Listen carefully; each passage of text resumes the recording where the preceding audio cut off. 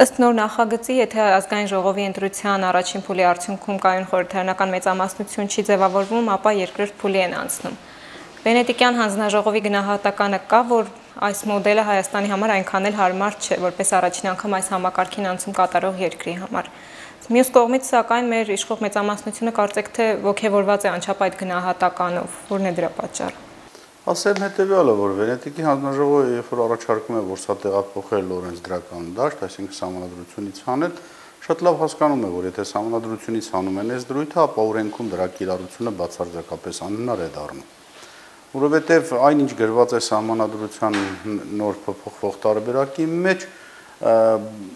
լրիվությամբ հակասում է համանդրության երկրորդ հոդվածին, որը անփոփոխ է, այսինքն որտեղ հստակ գրված է, որ իշխանությունը պատկանում է ժողովրդին եւ իշխանության ուզուրպացումը որևէ քաղաքական ուժի կամ քաղաքական որևէ անհատի կողմից քրեական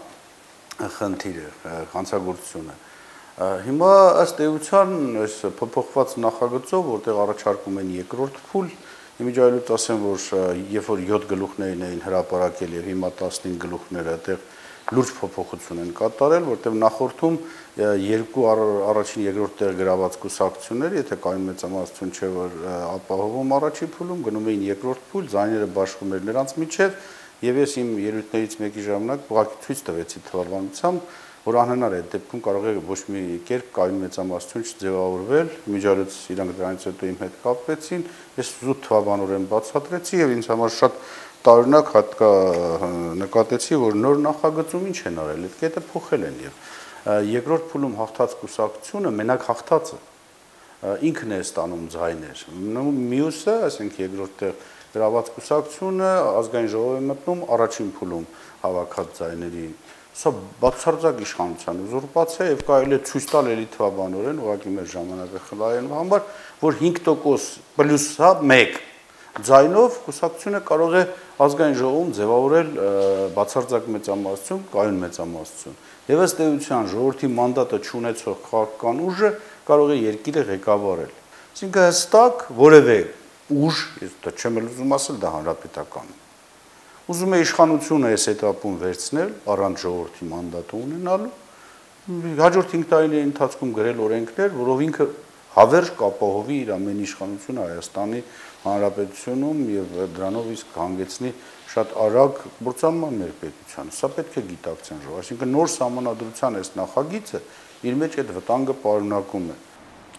Սահմանադրական փոփոխությունների այս նախագծում այսպես կարծեք թե գովելի գնահատելի դրույթներ են առաջ քաշում ազատ տնտեսական մրցակցություն, մարդու իրավունքներ եւ այլն։ Այդ բոլոր դրույթները իրենց տեղ ունեն նաև գործող այսօրվա սահմանադրության մեջ, սակայն թղթի թղթի վրա էին մնում։ Արդյոք սահմանադրության մեղքներ ինչ երաշխիքներ ունենք, որ նոր սահմանադրության դեպքում դրանք կսկսեն գործել։ Ես ասեմ, որ գործող սահմանադրությունն է այսօր Հայաստանի համար ամենակայուն իրավիճակ ապահովող սահմանադրությունն է եւ սահմանադրություն, որը եւ կարող է երկիրը ինչ որ պահի տանել պարլամենտական կառավարման, երբ որ ազգային ժողովում ընդդիմությունը ունի մեծամասնություն եւ ուժեղ նախագահական կառավարման, երբ որ նախագահի թիմը ունի մեծամասնություն ազգային ժողովում եւ ներկա գործող համանadrությունը կար երկու առաջնային մանդատ այնտեղ որոշակի ցենզեր կային, համանապակումներ կային, որ որևէ ուժ իսկապես չէր կարող ունենալ բացարձակ քաղաքական մենաշնոր եւ դա հավերժացնել մարդու իրավունքների բաժնում։ Ես ուղղակի հենց ասենք առաջի գլխի ընդամենը երկու հոդված կարդամ, որով այս նախագծով մարդու իրավունքները եւ ազատությունները որպես այդպեսին ընդհանրապես գոյություն չունեն։ Հիմա տեսեք, հոդված 3-րդի երկրորդ ենթակետն եմ կարդում մարդու եւ քաղաքացու հիմնական իրավունքների եւ ազատությունների հարգումն ու պաշտպանությունը հանրային իշխանության պարտականությունն է որևէ տեղ հանրային իշխանության մասին խոսք չկա, այդ ինչ բան է այդ հանրային իշխանությունը։ Եվ անմիջապես երրորդ կետը հանրային իշխանությունը սահմանափակված է մարդու եւ քաղաքացու հիմնական իրավունքներով եւ ազատություններով որպես անմիջականորեն գործող օրենք։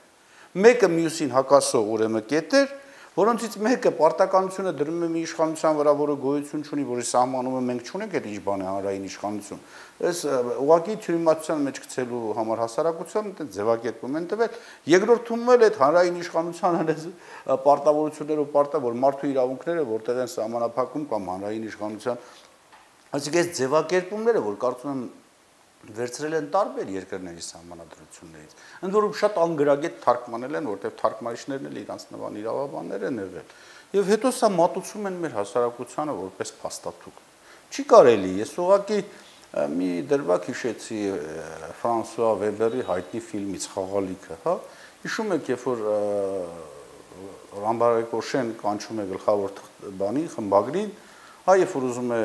եւ երբ որ ուզում է դուրս գա, ասում է, գիտեք ինչ, հանվեք եւ տկլոր գնացեք խմբաբան թղթակիցների մոտ, սա ապշած ու սկսում է հանվել, հա։ Ու Ռամբար Կոշեն հարց է տալի, չէ, հիմա ես եմ հրեշը թե դուք որ հա, հիմա այս մեր գիտնականները, հանրաժողովի անդամները, իրանք պետք է հասկանան, որ իրանք են հրեշները, որոնք շատ լավ հասկանալով, այնտեղ բոլորը Գագիկ Հարությունյանի գլխավորությամբ բոլորը հասկանում են, որ իրանք հրեշավոր փաստաթուղթ են սարքում։ Բայց այն ելույթները, որ ունենում են,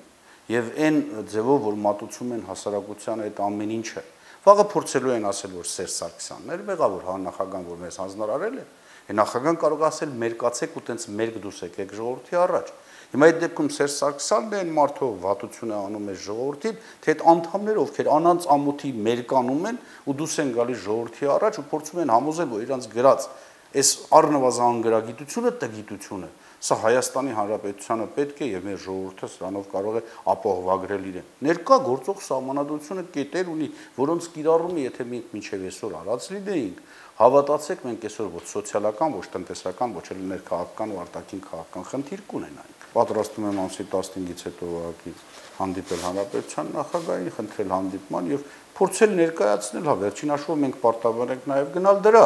Ես վստահ եմ, որ մեր հանձնաժողովի վայ անդամները, որոնք նախաձեռնել են այս փոփոխությունը Շարմազանովի հայտնի ելույթից հետո, երբ ասեց, որ այսուհետև բոլոր որոշումները պետք է անցնեն Մելիք Ադամյանով, դա 2 տարի առաջ էր։ Երբ որ ես դրան սկսեցի անդրադառնալ, ինձ ասում են դե լավ տղա է հայտարարություն է արել։ Պարզվեց այդ տղեն այս նախագծի համար էր հայտարարություն անում եւ մեր գիտնականները, հա իրավաբանները, վայ